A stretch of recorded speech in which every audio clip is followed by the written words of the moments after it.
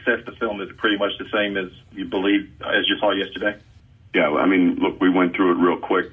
Uh, obviously, we didn't do enough in any three phases to to win a game like that on the road. The turnovers on offense, you know, are killer plays. Defensively, we we still struggled just with the their zone read, particularly as the game wore on. Uh, you know, that that was that was frustrating. Uh, those those are the obvious.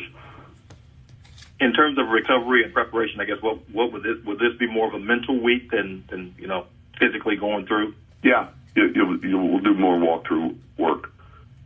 You know, I guess Buffalo not being you know a zone read kind of team, but do you expect to see a team after watching that kind of success attack more on the ground?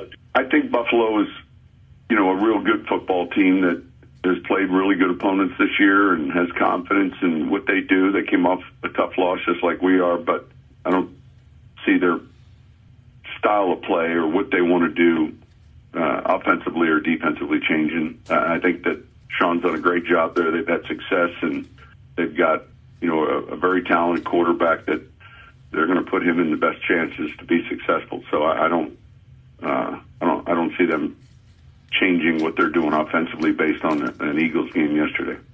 Sean, after a, a, a decade or so with, with Cam Jordan, what are some of the things that have, about him that have stood out? Well, his, his durability and his stamina are two things that you notice. You know, he's been able to play play in, play out, and to do that relatively healthy and to do that consistently. Is there anything in particular you can kind of pinpoint as far as the, the slow starts and the, the low scoring in the particularly in the first quarter? I don't know other than how we are going about trying to play the game. I mean, we're not coming out just airing the football around. This is a different type team right now, and the way we're built right now offensively. Uh, but outside of that, you know, we, we had our opportunities yesterday, and you know, we, we didn't take advantage of them.